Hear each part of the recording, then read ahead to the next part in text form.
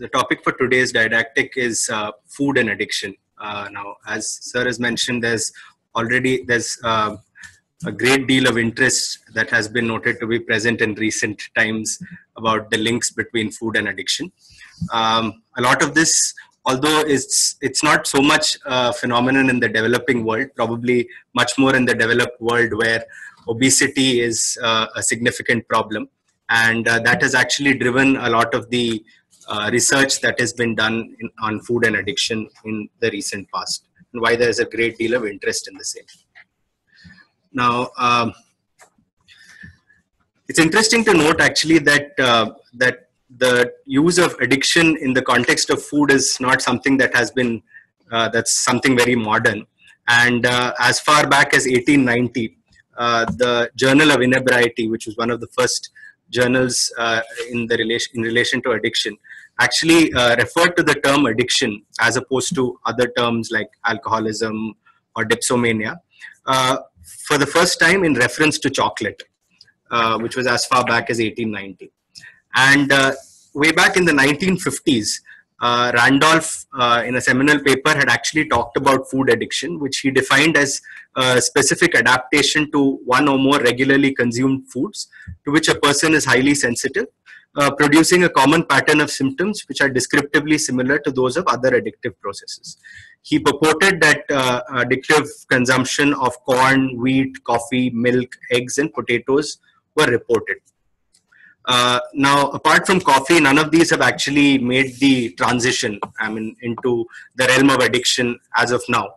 But uh, again, in the last 15 to 20 years, there has been a significant amount of resurgence of interest in trying to find out whether there are specific foods uh, or whether food per se can uh, lead to uh, an addictive spectrum uh, condition. So, in relevance to this, there are a few questions that I would like to answer in this presentation. Uh, now, are foods inherently rewarding and reinforcing? So, and if so, what are the mechanisms for the same? Uh, can certain foods be deemed to be addictive? Uh, can obesity per se be understood based on an addictive model?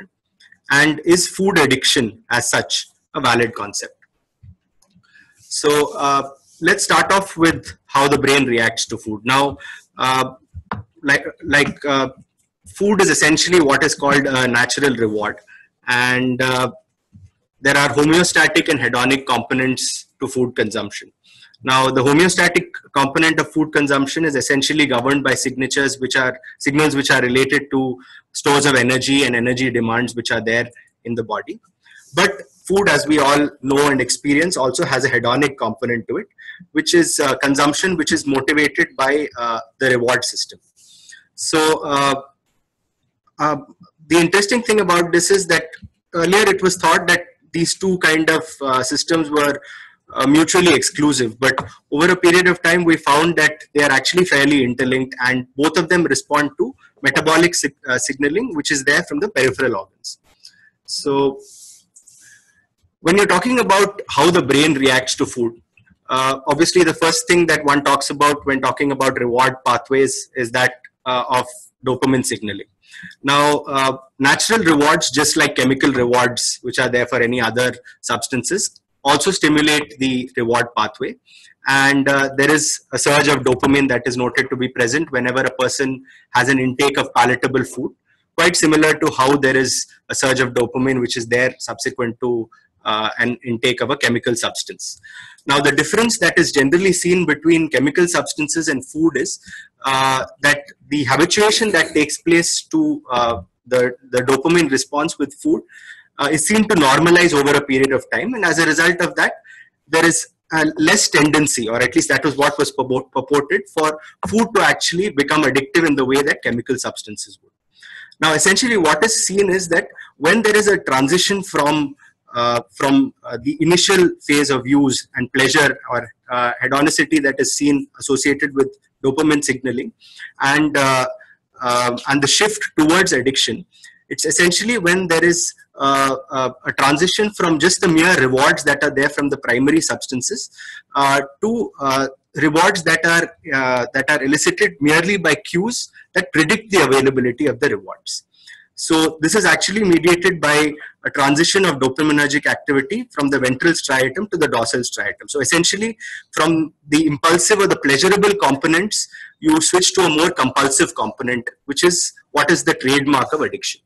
Now, the question is with food, actually, whatever research that has been done up till now has not, has not shown sufficient evidence to suggest the same in this.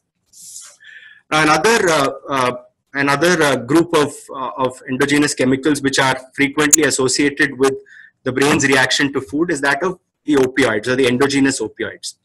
Now, uh, it has been noticed that opioids cause an increased desire for palatable foods.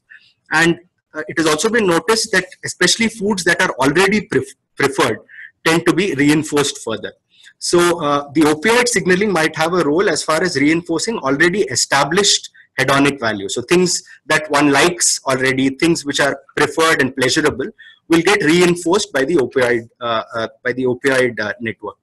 Now there are certain hedonic hotspots where there is an increased amount of opioid signaling. Again, this is linked to the dopaminergic system, uh, particularly in the medial shell of the nucleus accumbens as well as the ventral pallidum. Now, I was talking about some metabolic signals. So, uh, hormones like leptin, which are uh, uh, found in the adipose tissue, as well as ghrelin, which is released in response to food uh, uh, food consumption from the gastrointestinal tract. They have been known to for many years to be primary regulators of homeostatic food consumption, but uh, of late, we have also noticed that through their actions on ventrotegmental uh, area dopamine, they can also affect the hedonic drive for food. And so it is not only, uh, so the food, uh, the drive for food is not uh, merely to seek pleasure, but uh, also the homeostatic uh, mechanisms of food can also affect the pleasurable intake of food. So as I've mentioned, this is what summarizes it. Similar to drugs, food can also affect uh, the reward cir circuitry, but the pathways to it are quite different. Now, uh, to answer the second question that uh, we had raised, are certain foods addictive? Now, intuitively speaking, uh, a lot of people report that there are certain kinds of food which people find to be extremely addictive. And they say that there are people who are chocoholics and people who like particular types of fast food and junk food. Now, as far as research into this, there are a few difficulties as far as trying to quantify this. The main problem, especially in humans, is that uh, there is no single, uh, I mean, micronutrient or macronutrient that uh, that food is restricted to in our diet. I mean, so it's while in experimental uh, uh, paradigms. So, for example, in animal studies, it would be possible to have specific sugar diets or specific fat diets. It's much more difficult to translate that into humans. So, what has been noticed is that high sugar and high fat combinations, or what are called cafeteria diets. So, these are essentially diets like what people generally get in cafeterias and fast food restaurants, which would be burgers, pizzas, chocolates, which are a combination of high carbohydrates as well as fats, do tend to have rewarding and reinforcing properties. And this has been noticed both in animal as well as in human studies. Uh, so as I've mentioned, the problem is since there isn't uh, a single micronutrient that we can study, uh, it would be very difficult to say that under normal physiological circumstances, human human beings cra crave specific foods so that they are in ingesting a specific substance in that food. Now, the other interesting thing about uh, the link between food and addiction, of course, has got to do with the fact is that two people with addiction also have uh, preferences for certain types of food. Now, there have been some anecdotal studies which have been done in people who are recovering addicts, but especially in people who are recovering from uh, alcohol addiction and nicotine addiction, where uh, there has been noticed to be an increased amount of use of carbohydrate rich foods as well as fat rich foods. So that could again lead to a putative link between, uh, between food and addiction. Now, uh, bringing all of this together, uh, there has been in the last five or six years an increasing amount of work that has tried to look at obesity uh, which is of course now becoming a significant public health problem since there has been an increasing uh, prevalence of obesity that has been noted across the world, particularly in the developing world.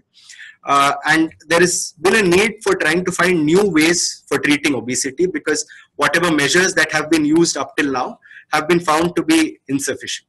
So it is in this regard where people have been trying to look at obesity from the model of addiction. And uh, the reasons for this are as follows. And so the main amount of work that has been done can be classified under these five headings. One is, of course, the clinical overlap between uh, obesity and addiction. Uh, second is a shared vulnerability to both ob obesity and substance addiction.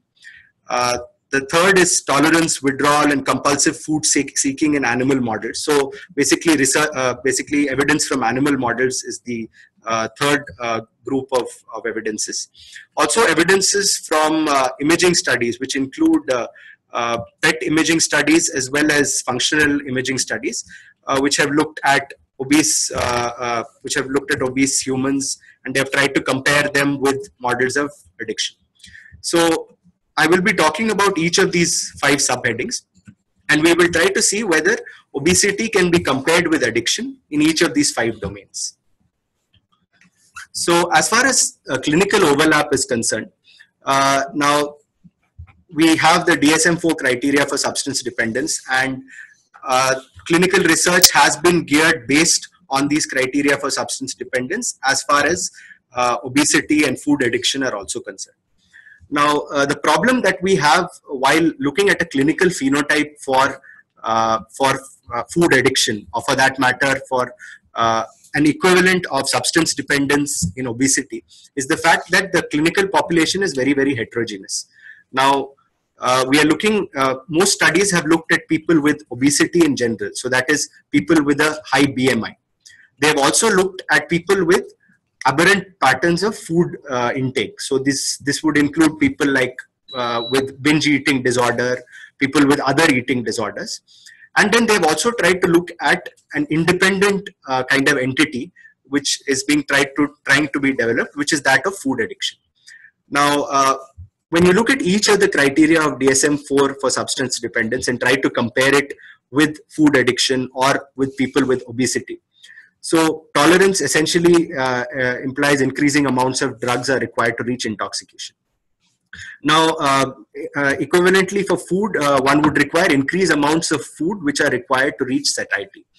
Now, the, the, the criticism of this is the fact that uh, one cannot assume an equivalence between satiety and intoxication. Now, essentially, in people who have binge eating or excessive intake of food, uh, the people who actually eat excessively, uh, they eat in the absence of hunger and they eat to the point of physical dis discomfort, which is actually beyond the point of satiety. So you're actually not in, uh, the, although the amounts of food are increasing, uh, the neurobiological equivalent, which would be that increasing amounts of food to reach satiety, would not actually be uh, fulfilled in this kind of a, a paradigm. So as a result of that, tolerance may or may not be present in food addiction. Uh, the second thing is withdrawal symptoms on drug discontinuation or distress and dysphoria during dieting. Now, uh, as of now, there has been no convincing evidence of a human withdrawal symptom for foods that has been noted to be present. As far as craving, uh, which is a persistent desire for food and unsuccessful attempts to curtail the amount of food eaten, uh, this there has been some evidence that there may be uh, clinical uh, clinical uh, evidence even in food addiction, but uh, there need to be both severity and impairment thresholds. And uh, similarly for measures like loss of control, salience, as well as use despite harmful consequences, which have a slightly better translation from substance dependence to food addiction. So as far as the clinical overlap is concerned, uh, there is some amount of convergence that is there between substance dependence criteria as well as food addiction. Although this may not be translated to the broad phenotype of obesity, as I will mention later in my presentation. Now, as far as shared vulnerability is concerned, uh, this looks at family studies uh, of people with substance dependence, and there has been noted to be an increased risk of obesity in this population. Similarly, people with binge eating disorders are also associated with increased levels of substance use disorders in their relatives, which again might point towards the fact that there may be some shared vulnerability. Uh, at a genetic level, there has also been noted to be uh, certain uh, certain genetic uh, variants. So the Taq1A minor allele of the dopamine receptor or the DRD2 gene has been associated with substance use disorders as well as with obesity. And uh, similarly, in obese individuals with binge eating disorder, uh, there is a higher prevalence of uh, a gain of function allele of the opioid receptor. And that is associated with an increased sensitivity to re uh, reward, as well as greater preference for sweet and fatty food, as well as substance addiction. So uh, there do seem to be some shared vulnerability that is noted to be present between both addiction to food or in people with obesity specifically, as well as uh, with substance addiction and substance dependence. Now, as far as animal models are concerned, when you're talking about animal models of addiction, essentially we try to study three things. We try to study uh, for the presence of tolerance, uh, we look for the presence of physical dependence as well as the emergence of a withdrawal symptom. Now, uh, as far as food addiction is concerned, and uh, in the study of obesity as an addictive disease, uh, there have been three models that have been studied. One is a pure sugar binging model, wherein uh, there is limitation of food intake for 12 hours uh, this is uh, these models are in rodents. So there is limitation of uh, food intake for 12 hours followed by a 12 hour period where a person is given varying concentrated solutions of glucose sucrose or saccharin. And what has been noticed is that in self administration models there has been some mimicking of addiction like phenotype wherein the person tends to use larger and larger amounts of sugar as time time goes on during the same amount of time. So uh, the interesting fact is, although there is development of tolerance, uh, and also there is withdrawal. So when there is uh, when the when the rat models who are addicted to these uh, to the to the sugar solutions are withheld from the sugar solutions, they tend to develop uh, signs of distress and withdrawal, which are seen in animal models. Uh, they do not, however, induce obesity. Uh, the fact is that, and similar findings to this have also been noticed in fat binging models.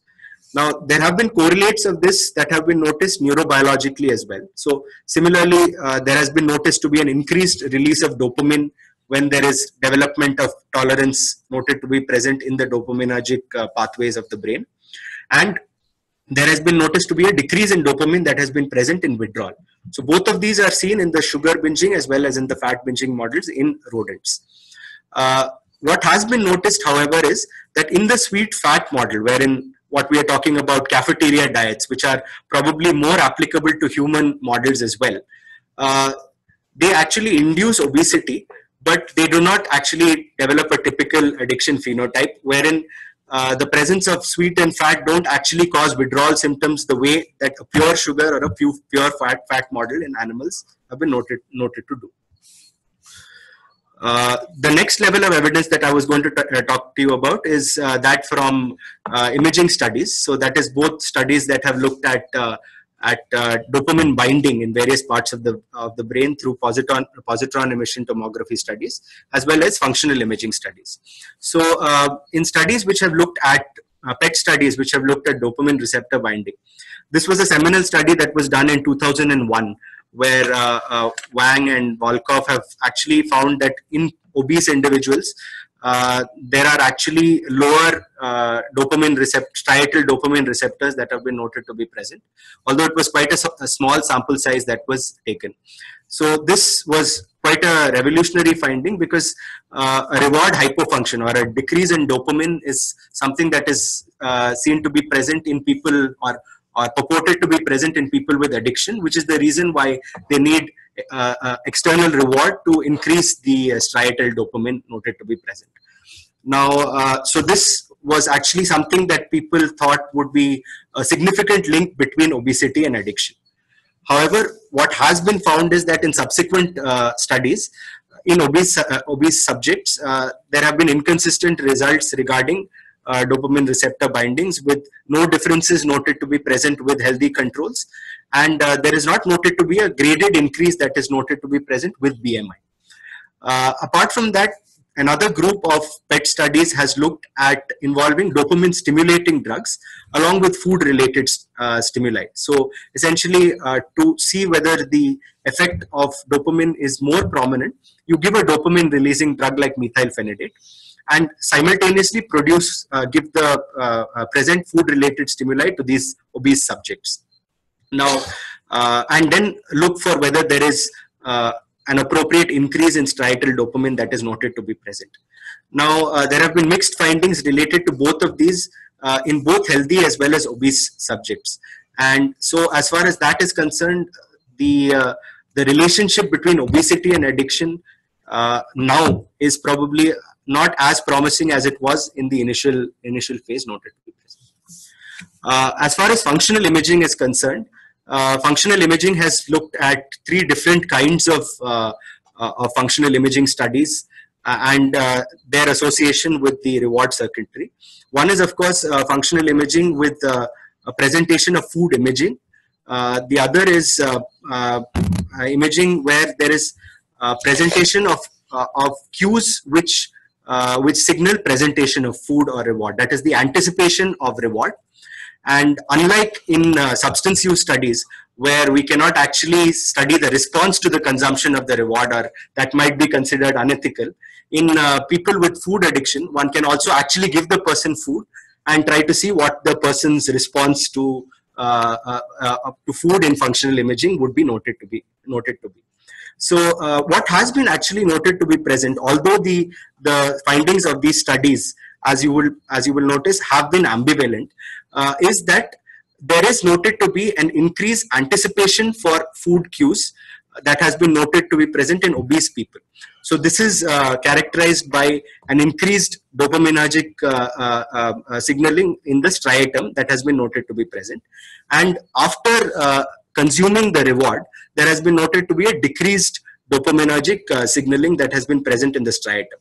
So essentially what this means is that the person anticipates rewards from food more than usual or like as compared to healthy controls people who are obese they will anticipate they will they will have more activation of certain brain areas or a more dopamine release in uh, in response to anticipation of food reward but when they actually get the food there isn't an adequate amount of reward that is noted to be present. So the dopamine release is not adequate. And so they tend to eat more food to actually get the adequate amount of reward. So this does point to the fact that there might be uh, some links between obesity and addiction because this is very similar to the kind of picture that is seen in people with addiction wherein there is great anticipation for uh, uh, drug related cues but not an adequate uh, uh, i mean they don't in following presentation of the drug there isn't an adequate this thing of the of the cues Sorry. So uh, when you're talking about a model for obesity, uh, what one needs to look at is that food addiction uh, may not be uh, the single uh, explanatory model for obesity. As we are aware, there are individual predispositions, there are problems with appetite and satiety, there is the food environment and the energy expenditure itself, as well as physical environment and env environmental influences, which uh, play a role in energy imbalance. Whereas personality and reward circuitry in the form of reward sensitivity, impulsivity, and food addiction would be one part of uh, the development of obesity. Now, uh, moving on to the final question that we're going to talk about uh, is that is there an independent entity called food addiction?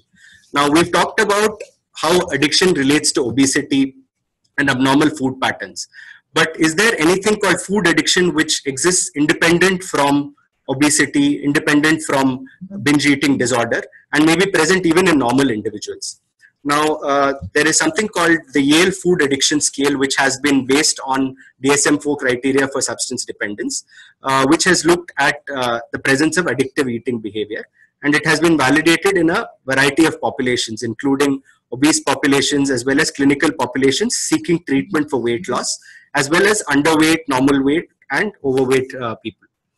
Now, what has been noted to be present is that there have been rates of food addiction of about 1.6 uh, percent even in normal weight population, whereas uh, there has been an uh, rates of food addiction of up to 7.7 percent in overweight or obese population. So, food addiction is not limited only to people who are obese, but they may be present even in people with uh, with normal weight that may be noted to be present. Now, uh, as far as uh, um, the clinical implications of this, what it means is that when people seek treatment for uh, uh for being overweight or uh, or obese, as much as 19% of them might meet criteria for food food addiction. They also display symptoms of substance dependence, higher scores of binge eating, and emotional eating, as well as a presence of higher levels of depression and anxiety, which again is a parallel with people with substance dependence who do tend to have a higher comorbidity of uh, depression and anxiety. And also they have decreased weight loss following weight, loss programs. Uh, similarly, again, uh, there have been higher levels of negative affect and emotional dysregulation in obese treatment seeking uh, uh, adults who have fulfilled the criteria for food addiction. Now, uh, the final thing that I'd like to talk about as far as food addiction is concerned, where we're talking about the construct of food addiction itself, is the neural correlates of food addiction, wherein we take this scale, which is the Yale food addiction scale, and see if a severity, a high severity on the food addiction scale actually correlates with any sort of neural changes which have been uh, purported to be present in addiction. And uh, this study, this, which was done in 2011, has actually found that there has been greater activation in the DLPFC as well as the caudate in response to anticipated receipt of food, but less activation in inhibitory areas like the orbitofrontal cortex in response to receipt of food. And this has been positively correlated with higher food addiction scores on the Yale food addiction scale. Uh, so this is quite similar to patterns of neural addiction that have been noted in, in substance dependence as well. And uh, so this might, might actually uh, uh indicate the fact that food addiction might uh, have some parallels with substance addiction and might require further evaluation for the same. Now, uh, to answer each of the questions, the conclusions that we could reach are that food definitely has potential for producing rewarding and reinforcing effects. It's a natural uh, reward after all. And uh, so it is similar in some ways to drugs of abuse. Evidence for specific foods being addictive remains limited. However, uh, also understanding obesity from a purely addiction model may be reductive, although there requires to be more work that needs to be done in terms of finding uh, uh, ways in which we can treat obesity using the addiction model. Uh, as far as the evidence uh, towards the existing existence of food addiction is concerned, uh, there is some evidence that points towards the same, but there is more study which is required to validate the concept. As far as future directions in defining food addiction per se is concerned, we need to have more precise neurobehavioral definitions of food addiction, uh, which are specific to food addiction itself. Uh, incorporating impulsivity, compulsivity, and other markers of vulnerability might uh, serve to improve uh, understanding of this form of addiction.